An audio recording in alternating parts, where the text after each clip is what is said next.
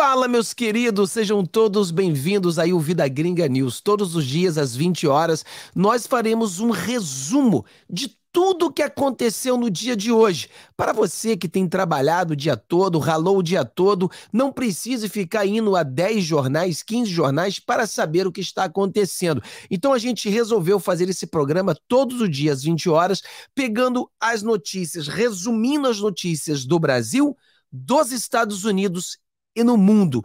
O que está acontecendo hoje nesse nosso Brasil e mostrar isso para você. Uma live rápida e objetiva, bota aí 20 minutos e você vai saber de tudo o que aconteceu hoje, as coisas mais importantes, obviamente. Então a gente faz um giro na notícia, a gente faz uma análise na política e no final nós mostramos uma grande mentira que tem sido contada no grupo do WhatsApp. Todos os dias nós pegamos uma grande mentira e mostramos para você. Não acredite nisso, porque isso é mais uma mentira. Galera, se você não está inscrito ainda no nosso canal, inscreva-se no nosso canal, dá o seu joinha, compartilhe nos grupos de WhatsApp, nos grupos de Telegram, para que nós alcancemos o maior número de pessoas possível para alertar esse povo. Não podemos mais viver como é, sonâmbulos, né? Como zumbis no Brasil. Precisamos despertar. E nosso trabalho é um trabalho totalmente independente. Então, você que quer que a gente continue fazendo os nossos trabalhos, ajuda a gente com Vida Gringa ó, vidagringapix, arroba gmail.com. Você que pode, ajude com o seu Pix, tá bom? Vamos lá, as nossas notícias do dia. Vamos lá, rapidinho, fazer isso aqui. Urgente. Aqui, vou até tirar isso daqui da frente, porque tá atrapalhando aqui. Pera aí, vamos lá tirar isso aqui. Vamos lá. Urgente, TSE suspende até amanhã julgamento de Bolsonaro. O julgamento do Bolsonaro já vai para o dia 3, o dia 4, ou seja, a estratégia é muito simples. Eles não quiseram fazer um julgamento onde a decisão sairia em um minuto, como fizeram com o Dallagnol, porque isso poderia levar as pessoas à rua, a manifestação, protestos, etc e tal. Então, a jogada, a estratégia do STF é simplesmente é tardar. É o TSE, STF, porque ali os três juízes que manda ali o STF, né? É você tardar isso aí para que você esteja é, acostumado. Lembra daquele negócio de matar o, o, o, sapo na água fervendo? É mais ou menos isso. Eles querem que você aceite o resultado. Pessoal, nós não vamos aceitar esse resultado. Nós não vamos aceitar de uma maneira que dentro da gente, sim, vamos estar revoltados, vamos entender que sim, era uma perseguição, mas nós iremos seguir a orientação do presidente Bolsonaro. Bolsonaro diz ter uma bala de prata, acredito que ele tenha. O Bolsonaro certamente ficará inelegível, mas ele lutará por fora. E com certeza nós teremos um time forte. E a nossa reação tem que ser essa. Isso não pode nos enfraquecer. Isso tem que fazer a gente mais forte. Eu e você uma vez que eles coloquem um Bolsonaro inelegível, nós temos que mostrar para eles que eles deram um tiro no pé. E como mostraremos isso? Lutando pela política, elegendo pessoas da direita, fazendo uma, uma, uma guerra na política da maneira democrática, aonde vamos eleger a maioria dos deputados, ali, deputados não, vereadores, é, prefeitos, das eleições municipais. E também, quando vem a 2026, deputados, senadores e presidente. Então, a nossa reação tem que ser essa: ir para cima, né? Então, vamos lá, vamos lá, que o bicho está pegando aí. Tem muita coisa para gente mostrar para vocês aqui do que está acontecendo. Vamos lá. Voto do ministro Araújo é desconcertante e sessão do TSE é adiada ter dúvida do processo eleitoral ainda não é crime. Bom, de acordo com esse jurista, não é, mas nós sabemos que é. As pessoas, infelizmente, não podem duvidar. Certas coisas hoje, no Brasil, você não pode duvidar. Se você duvidar, você será caçado. É uma coisa inacreditável. Mas o juiz, ele votou a favor do Bolsonaro e ele fez uma esplanada sensacional. Uma pessoa que nem gostar do Bolsonaro gosta, mas ele simplesmente seguiu a lei. Ministro do TSE abre divergência em julgamento de Bolsonaro, aquele mesmo ministro. TSE forma maioria para livrar Braga Neto da inelegibilidade. Ou seja, o presidente Bolsonaro vai ficar inelegível, Braga Neto ficará com a sua possível candidatura. Então, Braga Neto, ele, os juízes já votaram, os quatro juízes votaram em favor do Braga Neto, então Braga Neto passa com essa de boa, né? Uh, advogados da Jovem Pan se manifestam sobre a ação do MPF, ou seja, eles querem fechar a Jovem Pan, eles querem caçar a Jovem Pan. A Jovem Pan, que eu tenho muitas coisas boas a dizer, mas também tenho muitas coisas ruins a dizer, porque a Jovem Pan mudou muito. Nós não ainda que eu não goste da Jovem Pan, das, das, maneiras que ela tem agido ultimamente, eu não quero que a Jovem Pan feche. Eu lembro da época da Globo. Muitas pessoas, até mesmo que se diziam bolsonarista, queriam que Bolsonaro fechasse a Globo. A diferença do Bolsonaro e do Lula é que o Bolsonaro não é um fascista. O Lula, sim. O Lula é um autoritário. O Lula, na época, lá, acho que foi no primeiro mandato dele, ele botou um, um, um repórter americano para correr do Brasil. Então o Lula sim quer fechar a Jovem Pan. Bolsonaro não. O Bolsonaro acredita se você não gosta da Globo, simplesmente não assista a Globo. Mas não é o trabalho do presidente fechar o meio de comunicação. Muitas pessoas queriam que a Globo fosse, se fechasse. Hoje, muitas pessoas querem que a Jovem Pan se feche. O que nós acreditamos é bem simples. Você não gosta da Jovem Pan? Desliga, mude de canal. É bem simples assim. Mas não podemos deixar com que o Estado decida o que eu posso ou não assistir. Então acredito eu que isso não vai dar nada, Jovem Pan não vai fechar, nada disso vai acontecer. Claramente que vão tocar o terrorismo aí para te colocar com muito medo, mas segura, de boa, não vai acontecer nada. A Jovem Pan vai continuar funcionando. Geração de empregos formais diminuiu em maio país criou 155 mil novas vagas, uma queda de 44% em relação ao mesmo mês do ano passado. Olha aí, caiu 44%. Para a tristeza do povo brasileiro, menos pessoas conseguiram trabalho, porque o desgoverno passa o tempo todo viajando. O Lula está preocupado com a comida que ele come em hotéis de cinco estrelas. De acordo com ele, a comida é ruim. É aquele tipo de cara, né, que cospe no prato que ele comeu. Basicamente, esse é o Lula. Ele quer enganar o pessoalzinho que vota para ele, que ele come caviar, come lagosta, come as comidas mais caras do mundo, toma vinho só de cinco estrelas e quer enganar o pessoalzinho que votou para ele, que ele come aquilo, mas ele nem gosta. O que ele gosta mesmo é do feijão e arroz. Só trouxa para acreditar na mentira desse vagabundo. Vamos lá. BC reduz risco de estouro da meta da inflação em 2023 para 61%. Então o que acontece? O risco estava em 83%. Agora está em 61%. Ou seja, isso é problemático, né? Problemático que o Brasil venha ter uma inflação acima, mas ainda está aí em 61%. Eu acredito que o Brasil terá um crescimento medíocre esse ano, mas o Brasil não vira uma Venezuela, o Brasil não vira uma Argentina, mas terá um crescimento medíocre porque temos um governo medíocre. Campos Neto responde Lula e diz que país comemora inflação mais baixa. Olha só, pessoal, vamos entender uma coisa aqui que muitas pessoas não estão entendendo. O, a questão dessa briga de Campos Neto e Lula, ela é bem simples. Entenda o que eu vou explicar para você de uma vez por todas. O Lula usa o Campos Neto como boi de piranha. O que acontece? O Lula tem o poder de demitir Campos Neto. Não, Fábio, não tem. É que o Banco Central é independente. O Banco Central é independente mas quem tem o poder de demitir um presidente do Banco Central é o Senado.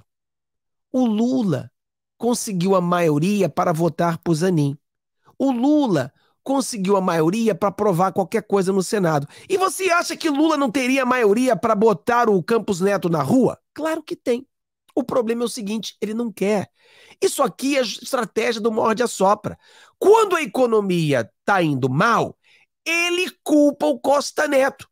A culpa é dele. Aí você fala, então tira ele. Não quero, porque se Lula tira o Costa Neto e a economia afunda, culpado é quem? É ele, é o Lula. Então ele precisa dessa briga. Ele precisa enganar os militantes dizendo: olha, a carne tá cara, é o Costa Neto. Olha, a gasolina tá cara, é o Costa Neto. Ó, oh, o problema tá caro, é, é, é o Costa Neto, ó. Campos Neto, Campos Neto. Tô falando Costa Neto. Então o que acontece? É isso que ele quer. É isso que ele quer. Ele não quer resolver o problema. Ele quer apontar o problema para a militância petista para que eles se revoltem e acreditem que Lula está fazendo um trabalho maravilhoso, mas o Campos Neto é aquele que está amarrando o trabalho do Lula. Por isso que ele não quer. No futuro, o Campos Neto vai ser trocado. E aí a gente vai ver o que, que o Lula vai fazer. Mas ele poderia trocar hoje se ele quisesse. Só que ele não quer. Estratégia. O Lula não é burro. Esse é o problema. Poder Data: 62% dos evangélicos desaprovam o governo Lula. Vamos aqui no nosso comentário. Quem é que está aqui e você desaprova o governo Lula? Se você desaprova o governo Lula, você diz eu. Eu vou fazer uma enquete aqui. Se você desaprova o governo Lula, vá no comentário e vote. Vá no nossa enquete e vote. Se você aprova ou você desaprova o governo Lula para a gente ver qual vai ser a nossa média aqui. Parabéns aos evangélicos que 62% desaprovam. Sensacional. A aprovação de Lula está, é, estacionada após seis meses, mostra o poder data. Então a aprovação de Lula está estacionada. Por quê? Porque a mídia luta ainda pelo Lula, o Lula ainda consegue enganar as pessoas, mas isso aí vai começar a cair. Mas para que a gente tenha um impeachment do Lula, para a gente tenha um Lula tirado do poder, precisamos que esse número caia muito. Ah, Fábio, eu não acredito nessas pesquisas. Tá bom. Tem gente que acredita, tem gente que não acredita. Mas tá aí a pesquisa. Exclusivo. Com medo de novo golpe, Lula poderá acionar GLO em todo o território nacional, diz aliado. Que coisa de maluco, né? Nós iremos fazer uma live mais específica sobre isso. Então, eu estou pensando em amanhã a gente fazer um vídeo pela manhã sobre essa questão, que é muito importante, que a gente precisa saber. Eu falei para você que uma estratégia do Lula era sempre dizer que o que aconteceu com a Dilma foi um golpe. Só que as pessoas não percebem. Essa fala do Lula, que o que aconteceu com a Dilma foi um golpe, é o Lula prevendo o futuro dele. Ou seja, o Lula está dizendo para todo militante petista: se amanhã tentarem impeachment o Lula, isso será um golpe. Ou seja, é isso que ele está colocando, é uma lavagem cerebral. Ele diz para todo mundo que aconteceu com a Dilma é o golpe, então se acontecer com ele é golpe. Então é isso que ele está fazendo, fazendo com que as pessoas acreditem que ele, se for impeachmentado, seria um golpe. É uma loucura, mas é grande verdade que a gente vê hoje no nosso Brasil. Eu vou falar mais sobre isso numa live que a gente for fazer. Suprema Corte dos Estados Unidos decide que cotas raciais são inconstitucionais. Vou falar sobre isso aqui com vocês, aqui, ó. Esse aqui é do, do presidente Donald Trump, isso aqui é o outro, aqui, ó. Suprema Corte rejeita ação afirmativa ao decidir sobre universidades usando raça em decisão de administração. Então vamos entender aqui, pessoal, isso aqui é interessante. A Suprema Corte nos Estados Unidos, que realmente é uma Suprema Corte formada por juízes, são nove juízes, so, todos formados, todos juízes de carreira, todos com obras feitas, feitas, todos, ainda os de esquerda, com obras e mais obras em seu nome, ou seja, realmente com um conhecer notável, eles julgaram essa questão de cotas raciais. E chegaram a, a, a, a decisão que se você tiver cotas raciais, você está sendo racista. Isso, você está discriminando contra outras raças. Se você coloca alguém que tem uma nota inferior à sua só porque ele é de raça A ou B, então isso é uma discriminação a outra pessoa. Por exemplo, nos Estados Unidos, eles criam cotas por exemplo, aos negros, aos latinos.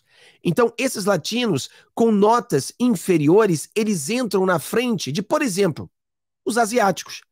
Sendo que os asiáticos têm um número muito inferior aos latinos. Então, os asiáticos são minoria. Eles são menos do que os negros, são menos do que os latinos, e assim mesmo, eles preferem colocar o latino que tem uma nota ruim, dizendo que não, isso aqui é uma questão de cota para ajudá-los. Como é que você está fazendo isso justo?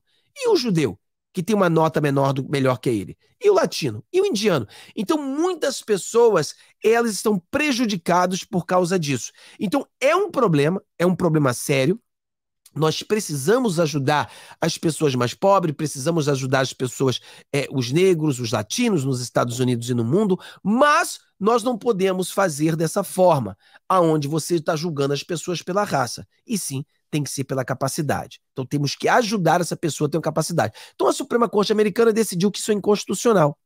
Pronto, basicamente o que decidiu.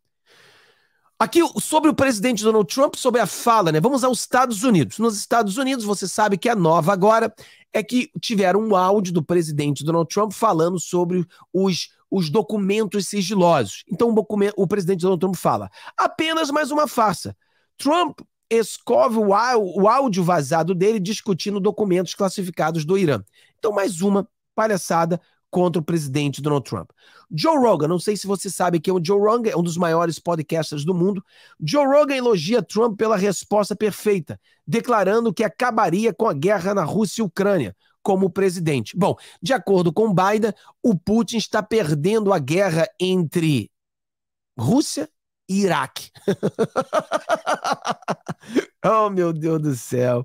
E aqui a Suprema Corte rejeita.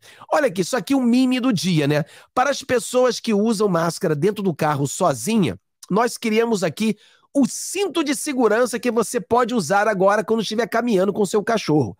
É a mesma coisa, né? Se você usa máscara dentro do carro sozinho, dirigindo igual um maluco, então agora nós criamos um cinto de segurança que você não precisa estar dentro do carro para usá-lo. Você pode usar esse cinto de segurança na praia, você pode usar isso caminhando no parque, jogando futebol, o que você quiser fazer, até assistindo televisão no sofá de sua casa. É a mesma analogia. Inacreditável.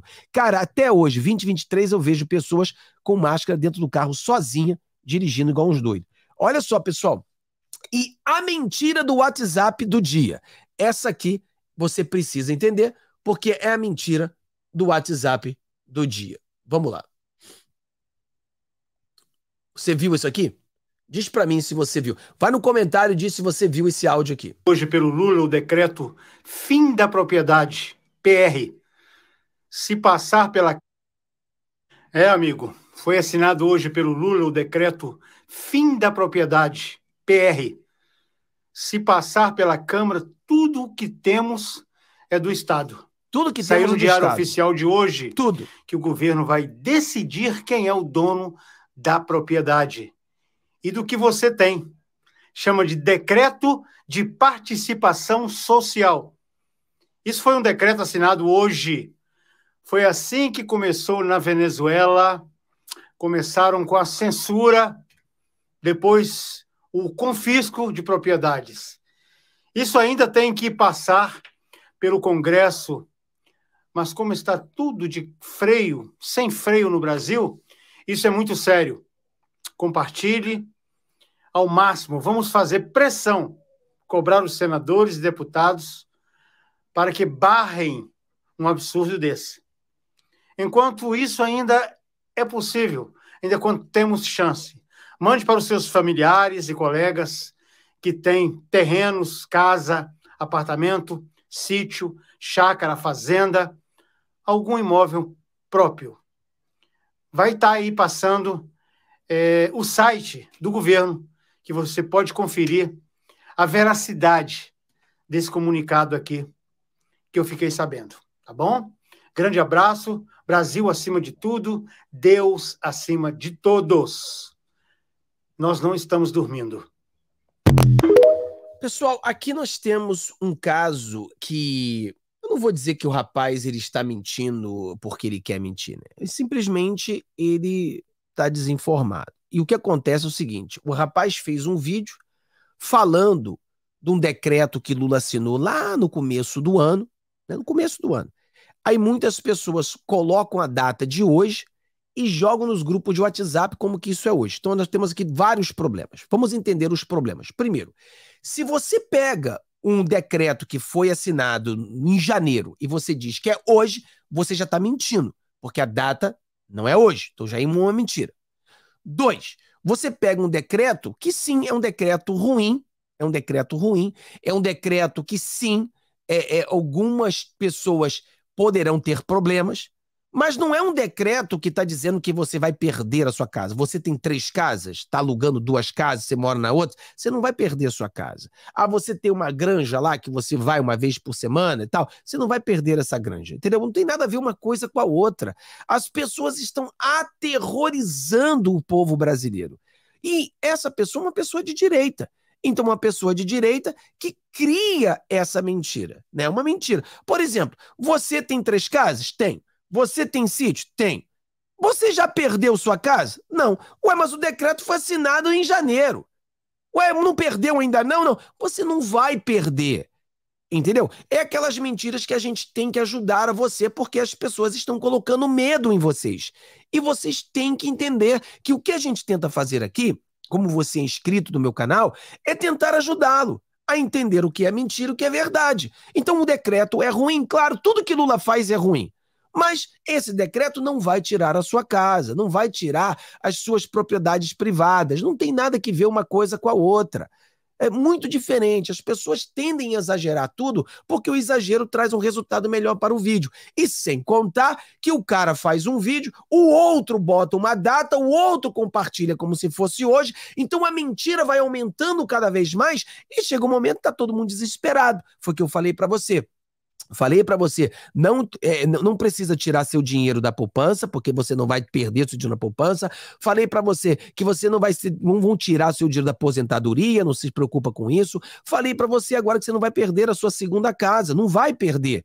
Tá bom? Então Deus abençoe todos vocês, que vocês tenham um dia maravilhoso. Se você não está aí no nosso grupo do WhatsApp, entra no nosso grupo do WhatsApp, eu vou botar na descrição do vídeo que você pode entrar. E lá você vai ficar sabendo do que realmente é verdade, tá? Deus abençoe a todos. Vejo vocês no nosso vídeo de amanhã às seis da manhã. Tchau, tchau. Um abraço.